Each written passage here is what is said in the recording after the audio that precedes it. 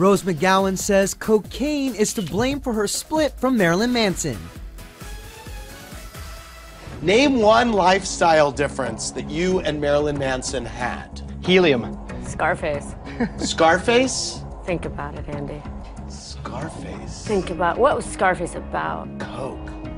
The 41 year old actress who called off her two year engagement to Marilyn Manson in 2001 had a strange way of explaining the split with Andy Cohen on Thursday's Watch What Happens Live. He, he did too much blow and you were not It was down me. for It was me. Okay. I'm honest always. I can't okay. help it. Okay, it was the blow. McGowan is now married to Davey Detail and says she and Manson moved on and have an amicable relationship, saying, quote, there is great love, but our lifestyle difference is unfortunately even greater. Of the worst parts of her romance with the 46 year old rocker, McGowan says, probably the bomb threat sucked. That just gets boring after a while. Oh, to date a rock star.